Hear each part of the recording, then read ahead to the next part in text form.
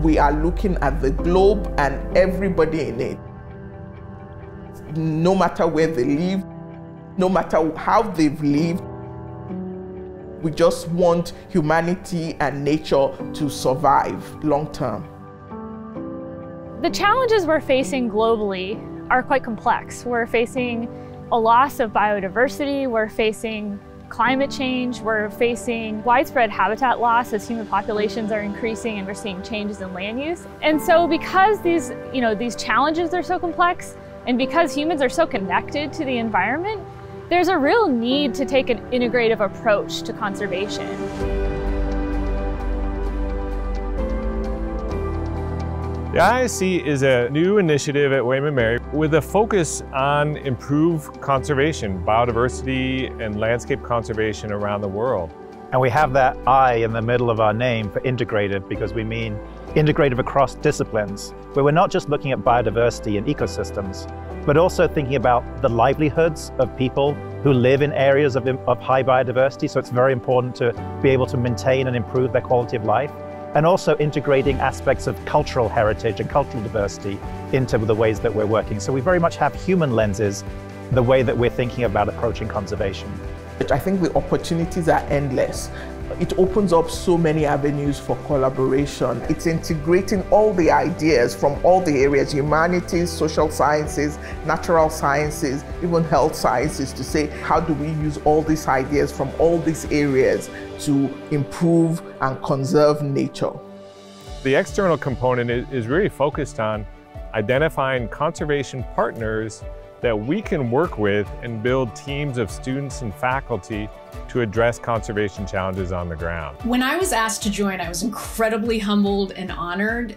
And I wasn't even thinking about all the benefits that it would accrue to me personally, but I realized, oh my gosh, I have access to this vast network of people who really care about the same issues as I do, who might have access to research that I don't, who can introduce and broker introductions to other institutions, other kinds of organizations, people struggling with the same issues.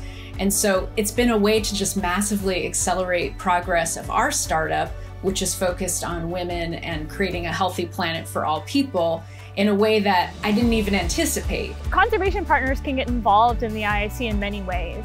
We are trying to find opportunities where the expertise at William & Mary matches the needs of conservation organizations related to planning, implementation, and evaluation of conservation actions and management and policy.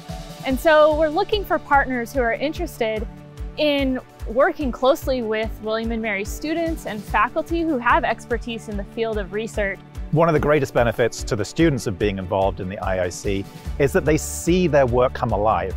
They actually see the application. They can work with these partners and see in front of their eyes how the project makes a difference. I worked with the Wildlife Conservation Society on a project dealing with the five great forests of Mesoamerica. And so the five great forests are facing a lot of forest loss and decline in the species that are there.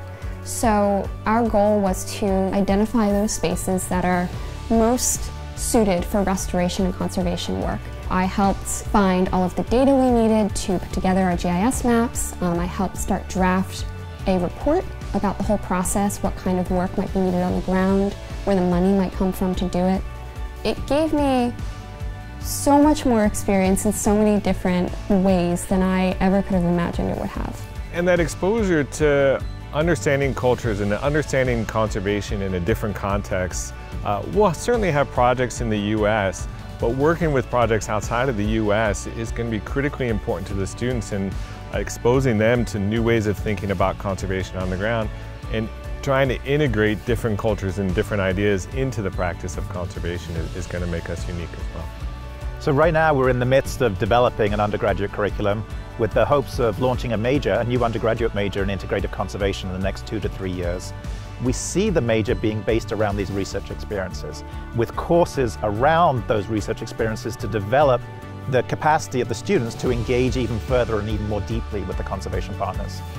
I hope that people will see it as a place to come to answer your questions critically to the field of conservation in different areas. The long-term impact of the IIC really will be that we're building this bold, innovative, and creative generation of leaders who are willing to work together across disciplines to solve global conservation challenges in a meaningful way.